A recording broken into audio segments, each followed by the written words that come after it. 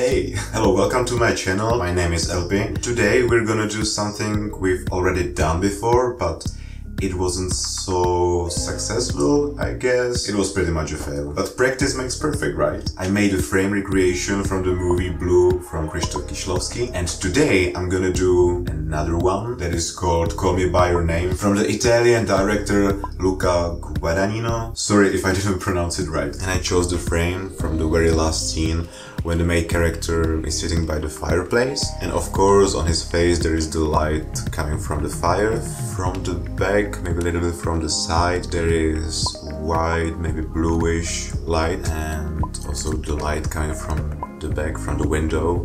I'm gonna use this LED light and maybe for the blue tint or you know I will use this trash bag. Of course we won't light fire here in this room so I will use once again this lamp. So without further ado, let's do this.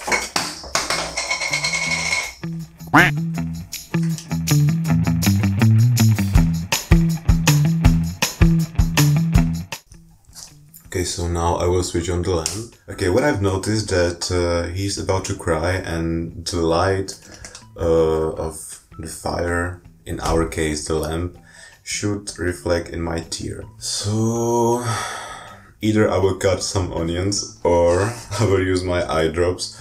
So hopefully it will work and I should like position myself right.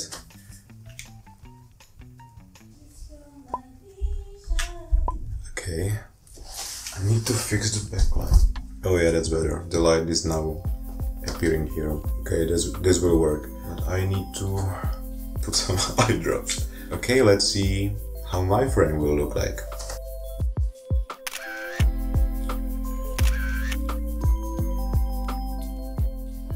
Of course, I did some adjustments in the post-production, but that's how it goes. Hopefully it was much better than the last time. If you like this video, don't forget to put a big thumbs up. And if you don't subscribe me, you can do it by clicking here, you will find the button. And if you want to watch some other videos of mine, you can do it by clicking here.